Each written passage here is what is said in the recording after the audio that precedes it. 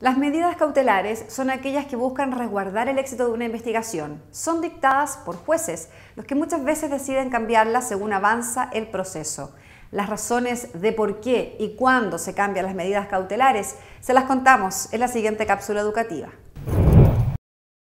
El pasado 9 de julio, el octavo juzgado de garantía de Santiago modificó la medida cautelar de arresto domiciliario total para los controladores del Grupo Penta, Carlos Alberto Delano y Carlos Eugenio Lavín, por el hasta arresto nocturno y arraigo nacional.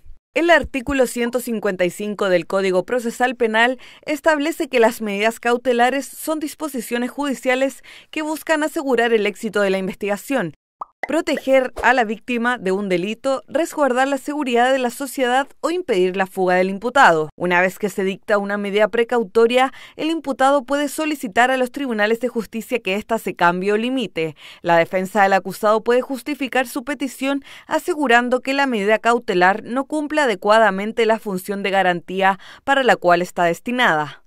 Los jueces pueden acceder o rechazar esta petición, al considerar si cumple o no la finalidad de evitar perjuicios innecesarios, siempre respetando la naturaleza e importancia del derecho. Si el juez acepta el reclamo de la defensa al considerar excesiva la medida cautelar con respecto a lo que se está acusando, se sustituirá por una más acorde al caso.